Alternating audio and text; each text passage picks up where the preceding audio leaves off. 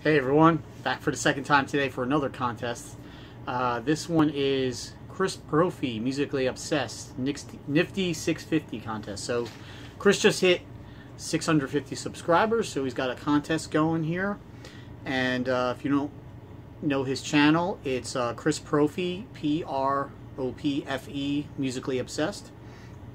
Uh, so he's got six questions here and the, the first one is show the first and last album in your collection. So um, I do have country, blues, soundtracks, and compilations uh, separate from my A to Z pop, rock, prog, metal, whatever. So not going to include those, but my first one is um, 38 Special, Special Forces.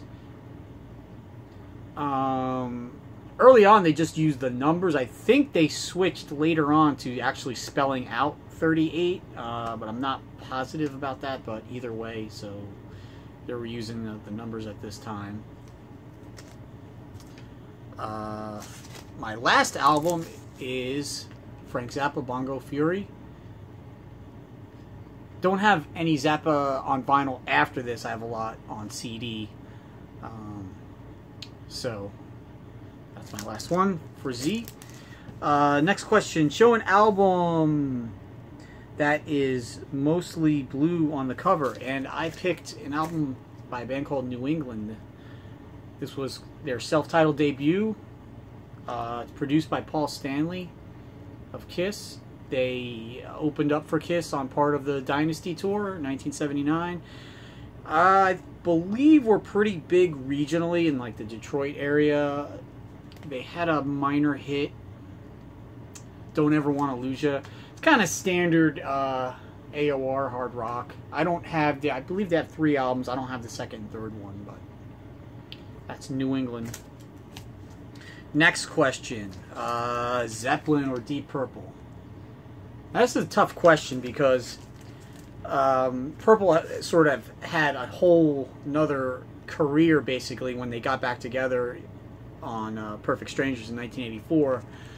So I'm just going to judge it by the classic, say, uh, you know, 69 through uh, Come Taste the Band and then uh, Led Zeppelin's final album, which was In Through the Outdoor. So I'll judge it by that period.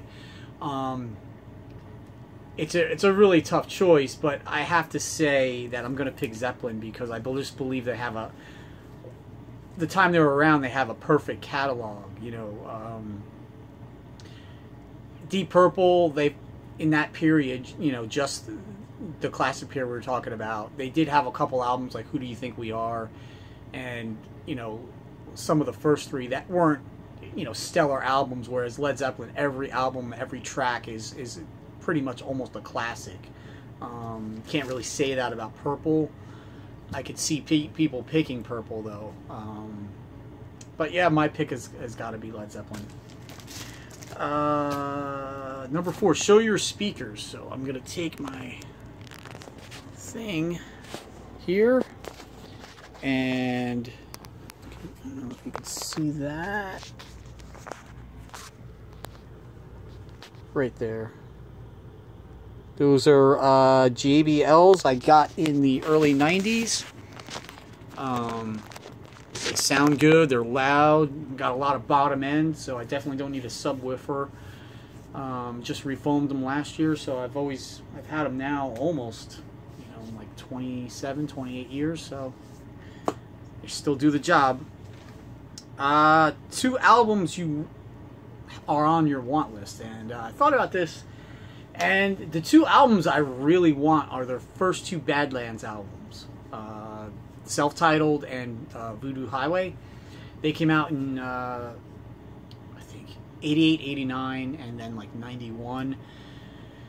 Almost impossible to find on vinyl. They're like hundred dollar albums, so I would even be happy with the CDs, which are even those are, are pretty hard to find. They're like 30 40 dollars each.